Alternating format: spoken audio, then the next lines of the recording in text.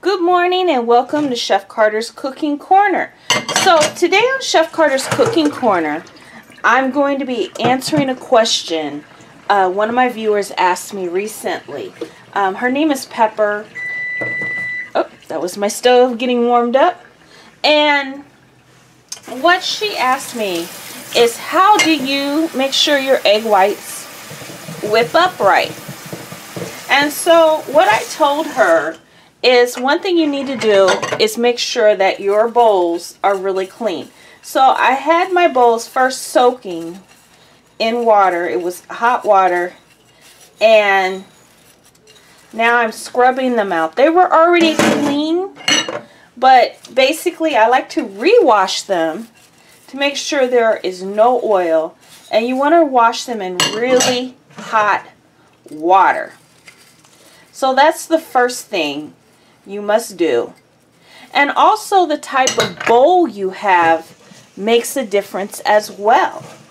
So what I mean by that is you want to avoid using plastic bowls because sometimes plastic bowls they do leach and oil.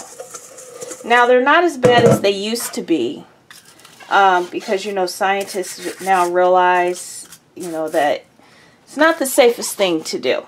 Is you know, certain plastics are not safe to use in food production. And so that's why you want to avoid using plastic bowls because some of them do leach and oil. Now, the best bowl to use is actually copper, but I don't have a copper bowl. okay, I'm actually Okay, there we go. So make sure there's nothing on there. Um, so I probably should have did the big bowl last, but that's alright. So what I'm doing now, that's why. So I have room to put the other bowls in. So what I'm doing now is just rinsing them very well in hot water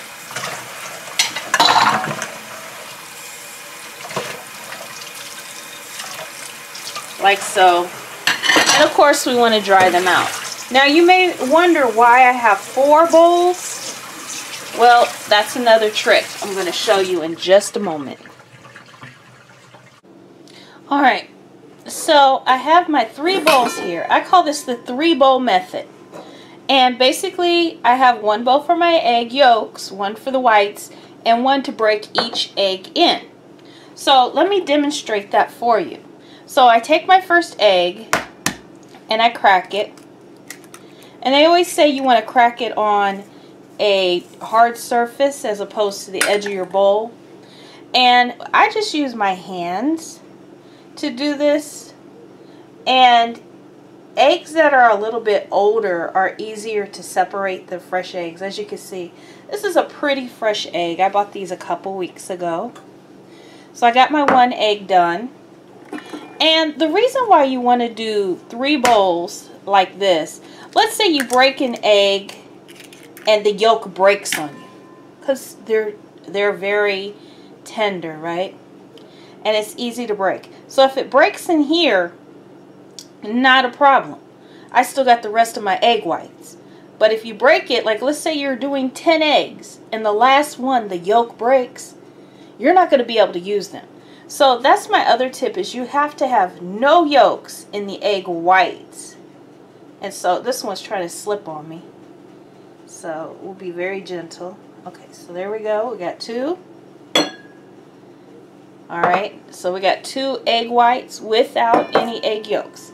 But you also have to make sure that your hands are washed very thoroughly because, you know, we have natural oils on our hands. Now I know some people say, you know, use the shell like this. Okay, but the thing is, um, because the shell is sharp, it could break your yolk. So it's just easier to do this. A lot of chefs do it and it's one way to make sure that your eggs don't break. So I'm a bit, I think I'm an egg expert. I know where eggs come from.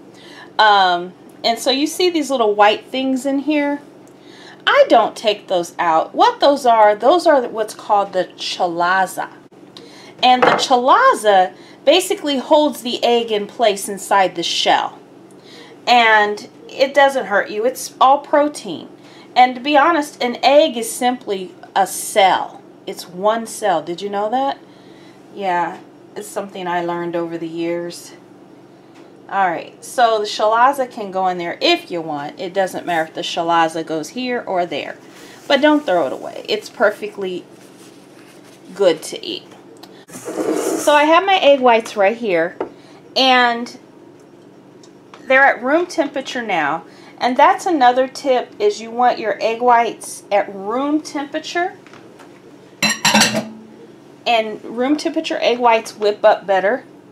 And then I'm going to add a little bit of salt. And if your recipe doesn't call for salt, do not use salt. But you can use cream of tartar. So you can use salt or cream of tartar or a mixture of both. And that will help with the eggs whipping up. Alright, and so I'm making the souffle today. So I'm going to add just a little bit of my sugar, just a small sprinkle to start with. And we're going to add our sugar in stages. So that's another tip if your recipe calls for sugar. So let me go ahead and whip this up.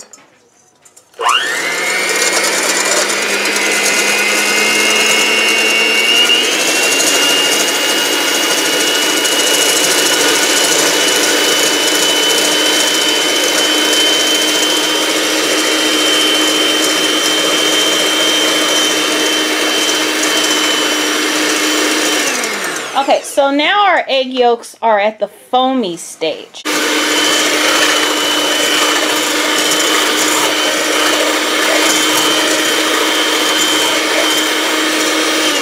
Okay, now you're going to want to add a little bit more of the sugar.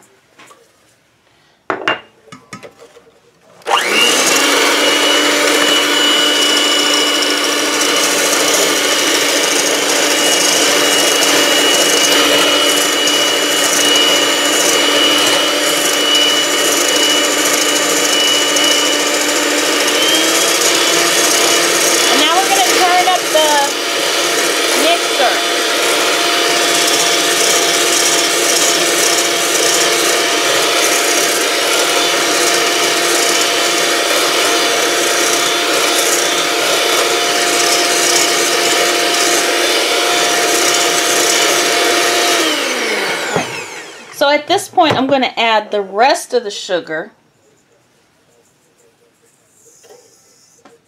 All right. And I'm going to tell you, some of you may say, well, I don't have that whisk attachment. You can use this type of attachment, the regular egg beater attachments as well.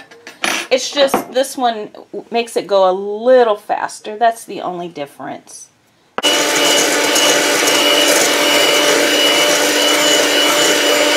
I wanted to stop just to show you, well, it's not quite there, but people also want to do soft peaks. So it would make smaller peaks. It's almost the soft peaks. And you can kind of tell because it makes designs in the egg whites once it's getting there.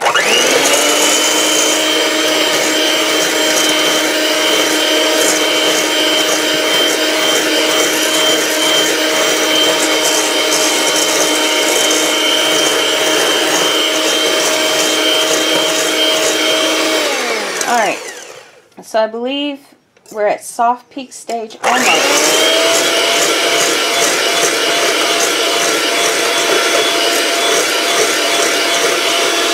Okay, so this is soft peak stage right here. See how it's forming really soft peaks? It's almost a stiff peak.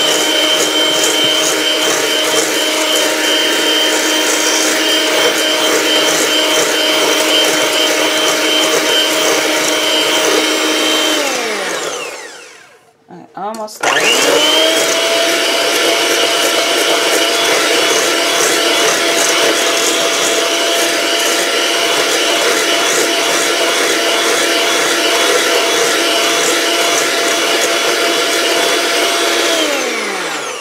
All right.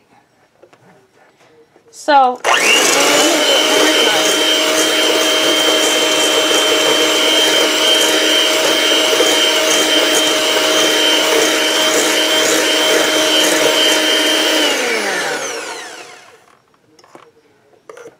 Okay. So,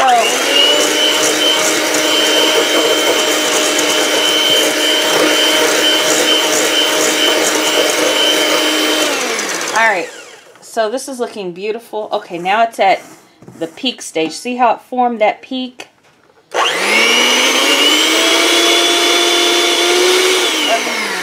Just wanted to clean this out. Because once you whip this up, you do not want to bang it. Because banging it will deflate it. And we want to keep all that beautiful air we just put in.